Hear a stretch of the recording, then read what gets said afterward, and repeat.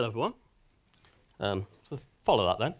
Um, so consistently today, one of the great things has been hearing and reaffirming the importance and the evidence for long-term brand building to build you know, sustainable revenues, profitable growth. I mean, Les has just talked extremely eloquently and convincingly about the importance of pricing power and how brand building drives strong pricing power in the market. So all of that, you know, really, you know, underlines the importance of, you know, getting the balance right. But, you know, it's hard, you know, that we've talked about it, I think it's inherent in the questions that we had through that pressure to meet, you know, immediate revenue goals, you know, even though we know and have proven the evidence of the importance of brand building to you know, long-term sustainable growth and profitability, it's hard to get that balance right. But as the saying goes, a problem shared is a problem halved. So what we're going to be doing in this session is really getting some practical experience in our panel uh, from some great brands like TSB and Virgin Media O2.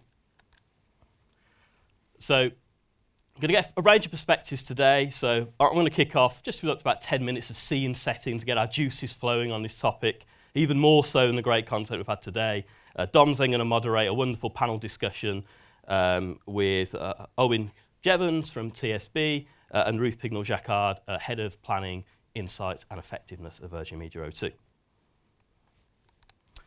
Um, so I was going to set some scene um, for you guys and start with a bit of a macro analysis and viewpoint actually. So this is a, a great uh, data point that I drew out from the brilliant Russell uh, uh, language of effectiveness um, study from Marketing Week.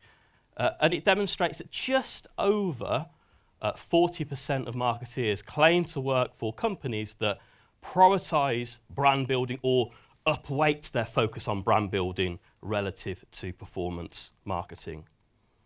Uh, and of course, I think you know Les and, and, Peter Field's work itself, you know, demonstrates the need for you know to flex those rules, to flex that balance. But it feels like 40% feels like maybe we're on a little bit of a precipice here uh, uh, of effectiveness as we sort of face the headwinds and the challenges in the current economic climate. So, a bit of a nice data point to kick off and think about our session now. And of course, this has never mattered more, right? So I think Lynn had some of this data earlier on with, uh, we talked about, you know, in recent years there have been a crisis of effectiveness that's been heralded. We've seen work from, you know, University of Oxford Saïd Business School highlighting the reduction in the sales response of advertising. Um, you know, creatively, Peter Field's work showing, you know, creatively awarded campaigns are perhaps, you know, less effective uh, than they have been before. And we see also that you know the stakes are building, and all of you guys know this, right? You know, investments are getting bigger. We're starting to see, you know, wholesale shifts in behaviour towards prioritising channels, you know, like digital. Now, of course, we know digital channels can build brands. You know, our own Kantar cross media database indicates that you know the brand building potential of digital channels is often actually underutilised, an opportunity there. But the perceptions and behaviour don't always follow suit in that regard. Risk and challenges potentially are building. And also, I think this is also manifested in a reduction in, in confidence. Uh, so from our Kantar Media Action Survey, uh, we see that marketeers claim to be you know, less confident in their media mixes compared to prior years, seven percentage points lower.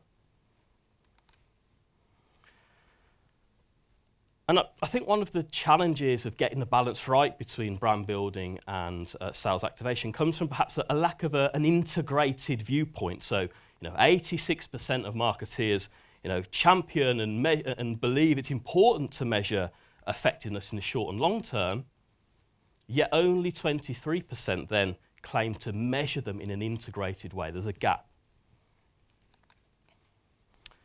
And that, of course, and you guys will, will relate to, this, that's not the only sort of you know, data and insights gap on getting effectiveness right. But you know, we see that the, you know, the fault lines of effectiveness capability are you know, as wide as they are deep. Uh, and we're going to be diving into some of these topics in our panel discussion shortly. So, you know, how do you just, you know, really well, and I think econometrics, of course, that's part of the answer here, but, you know, how do you, you know, really identify commercial returns very clearly uh, to marketing activity? You know, how do you actually replace some of those metrics that may be, or complements those metrics that are more, you know, behaviourally based and short-term things like click-through rates with, you know, short-term measures, because that's important to indicate progress, but short-term measures of long-term outcomes. How do you do that? What are they? How do we get leading indicators of pricing power, brand power, all of those things of uh, long-term sustainable demand generation for your brand? You know, building a unified picture, you know, breaking down silos in your organization. It's not just about the data, it's about the business as well. We're going to be diving into those topics. But, of course, you know, not all organizations are, are struggling to get this balance right. Absolutely, we see organizations that are doing it and brands that are getting this right. Uh, and what we observe uh, sort of, is that those companies are further up what we call the marketing effectiveness maturity curve, which is a concept that we've coined based on our experience of working with clients on effectiveness. So, you know, we're going to be returning and talking about this concept a little bit more in a moment, but essentially there are three broad stages, you know, just establishing the right data sources that, that talk to not just you know, short-term behavioural outcomes, but are leading indicators of, brand growth uh, and, and, brand building growth. Uh, that you can bring together brand health measurement, you know, creative quality, existing measurement on effectiveness. And the developed stage is when you really start to sort of bring those things together, right? When we can start to build into more holistic effectiveness engines that help us actually start to uh, unlock new outcomes. Just really good planning uh, around uh, media mixes that link to short and long-term outcomes, in-flight optimization, all of those things. Uh, and then the realize stage is sense that you've really bought the, sort of the fruits of that have been realized in the business with a, a culture of effectiveness, uh, you know, a common language of brand value creation that runs through the business right the way from the you know, CFO through to C-suite uh, and starting to unlock new continuous capability building around effectiveness. So this is sort of how we see aspiration in this space. And we're going to talk about some of the ways we can get there in our panel discussion.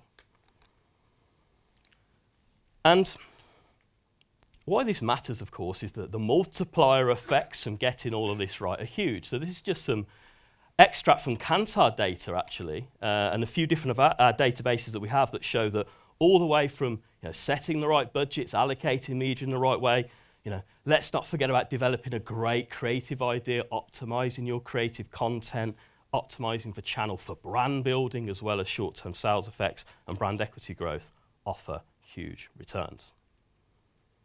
So, um, before we leap into our panel discussion, um, there's a bit of good news in this, which is that it's technology is developing all of the time and it's becoming you know, easier to some extent, while it's still challenging, to answer some of these questions and get that balance right. So before we welcome our panel on stage, I'm going to show you a quick video and demonstrating some of the ways we're trying to help develop new approaches to get this balance right.